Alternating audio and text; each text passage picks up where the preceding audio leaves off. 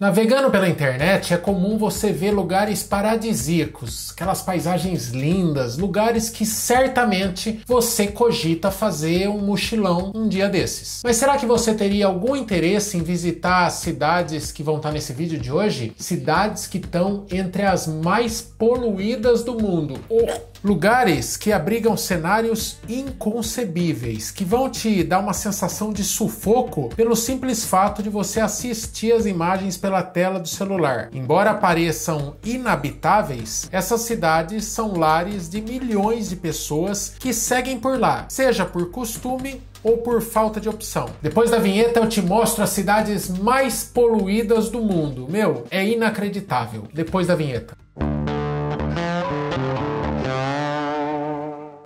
Aqui na Liga sempre tem conteúdo legal para quem é curioso, então eu te convido a se inscrever e ativar o sininho com todas as notificações para sempre receber aviso no teu celular, beleza? Então vamos logo para o vídeo de hoje mostrar algumas das cidades que estão entre as mais poluídas do mundo. É impossível respirar. Prepara a máscara de oxigênio e vamos. Gente, a população da Terra está chegando em quase 8 bilhões de pessoas. E em alguns pontos do planeta planeta, a soma da superpopulação de pessoas com a falta de políticas de controle e, claro, uma boa dose de desleixo fazem a poluição transcender tudo que a gente pode classificar como tolerável. São cidades onde a poluição tem o poder de reduzir a expectativa de vida em muitos anos, só por conta do ar que você respira ou da água que você bebe. A partir de agora, eu vou te mostrar lugares que farão você parar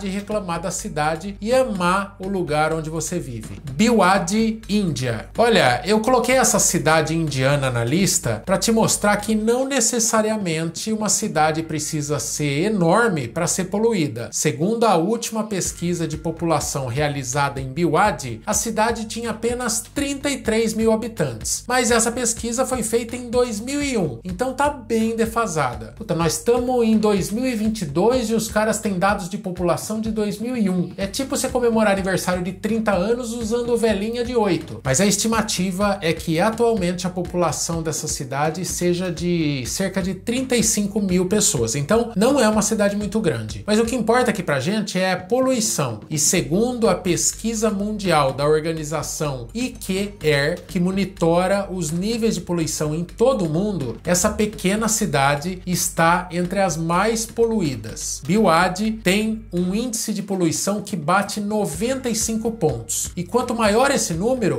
pior o cenário. O estudo mede a quantidade de partículas inaláveis, conhecidas como PM2.5, compostas pela soma de gotículas líquidas e partículas sólidas que incluem poeira, fuligem e fumaça. Mas aí você me pergunta, mas índice 95 é tão ruim assim? Bom, para você ter uma ideia, a capital da Índia, Nova Delhi, tem índice de 84 pontos, bem abaixo dos 94 de Biwadi. E segundo os especialistas, passar um dia apenas respirando o ar de Nova Delhi equivale a um ser humano fumar 50 cigarros, tudo num único dia. Então, você passar um dia nessas cidades é mais ou menos você se transformar no seu tio Orestes. Sabe aquele tio velho que todo mundo tem, que fuma pra caramba, que anda com cigarro assim no ombro, dentro da camisa? Então, passou um dia nessa cidade visitando, você virou Orestes. Ou seja, fazendo uma regra de três bem simples, uma continha bem safada, se você visitar Biwadi, vai estar consumindo 56 cigarros num único dia. Isso independente de ser ou não fumante. Mas já que a gente falou de Nova Delhi, vamos mostrar que a capital da Índia é um dos piores lugares para alguém com rinite estar no mundo. A poluição é tamanha que muitas vezes não é possível sequer enxergar as construções. No trânsito, chega a ter batida, porque o povo não enxerga os carros na frente de tanta fumaça no ar. Eu brinquei com esse negócio de rinite, mas o problema é muito mais grave. Em 2019, a poluição provocou 1,6 milhão de mortes na Índia, incluindo quase 17.500 mortes na capital segundo a revista médica The Lancet. Segundo a Organização Mundial de Saúde, Nova Delhi tem uma quantidade de partículas poluentes suspensas no ar 10 vezes maior que o limite diário tolerado para o homem sem que haja comprometimento da sua saúde. E as cidades asiáticas dominam totalmente o ranking desse recorde negativo de poluição. O levantamento feito pela organização IQAir mostra que Índia e China são os países que apresentaram as cidades com maior índice de poluição. Das 100 cidades mais poluídas do mundo, 46 estão na Índia, 42 são chinesas e 6 paquistanesas. Outras 4 estão em Bangladesh, uma na Indonésia e outra na Tailândia. Cabul, Afeganistão. Outra cidade onde a situação é terrível é Cabul, no Afeganistão, que a gente ouviu falar muito depois dos ataques lá do Barbudo, sabe? Negócio do avião, prédio. Ah, gente, eu não posso falar senão o YouTube vai tirar o alcance desse vídeo, mas vocês já entenderam. No inverno, a capital do Afeganistão não é para os fracos. Temperaturas abaixo de zero não são incomuns. Nevascas são frequentes e às vezes bem pesadas. No começo do ano, por exemplo, é comum comum a temperatura baixar a até 20 graus negativos. Além disso, a cidade fica a 1.800 metros de altura. E se não bastasse a realidade de conflitos, os 6 milhões de habitantes de Cabu convivem com um inimigo silencioso que tira mais vidas do que as próprias armas. É a poluição do ar. Nos piores dias, a cidade fica coberta por uma neblina tóxica formada por partículas de poeira e fuligem. E com a volta dos barbudos de turbante lá, que são amigos daquele outro do avião, avião é fato que aconteceu recentemente, né? Eles voltaram para o poder depois que as tropas americanas deixaram o país. Com a volta desse pessoal, as medidas de controle de poluição que existiam e que estavam mantendo os índices de poluição bem mais baixos foram totalmente deixados de lado, ou seja, essa questão ambiental voltou a estaca zero e a poluição disparou. A poluição em Cabul se deve à grande quantidade de carros velhos, combustíveis de má qualidade, pessoas queimando lixo na rua para se livrar da sujeira, fornos de tijolos industriais que geram muita fumaça, entre outros vários fatores. Quando não é conflito, é poluição. Nada fácil você acordar e ser morador de Cabul.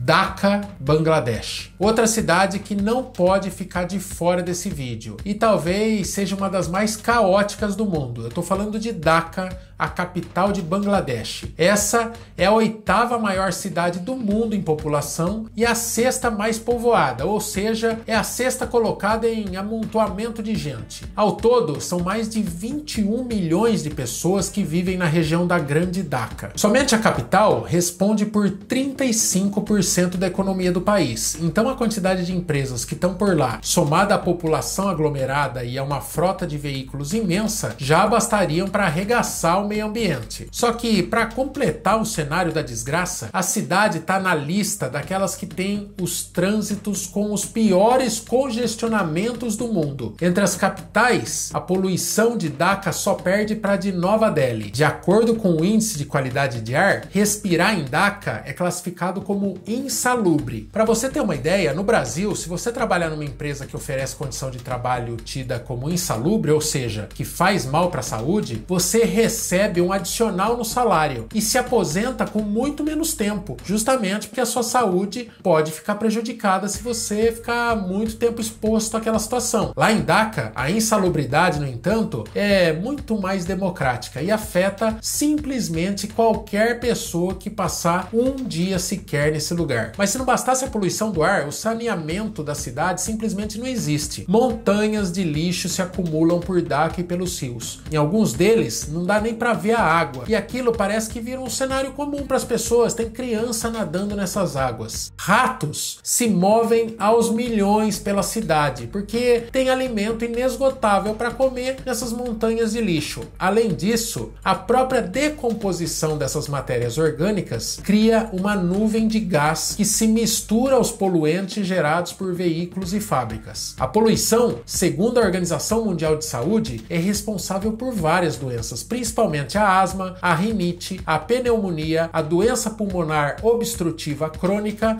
e, nos piores casos, o câncer de pulmão, que, como você pode imaginar, numa cidade como Dhaka, acaba evoluindo para um quadro fatal, uma vez que você pode imaginar o nível dos hospitais públicos de um lugar assim. Mas e aí, já agradeceu de viver aí onde você mora? Acho que você nunca mais vai reclamar, né? Gostou desse vídeo? Então compartilha se você acha que esse alerta precisa ser mostrado para mais gente, beleza? E espero que você tenha gostado desse vídeo da Liga, mas tem um monte para você assistir. A maratona na Liga tá liberada. Eu fico aqui. Valeu.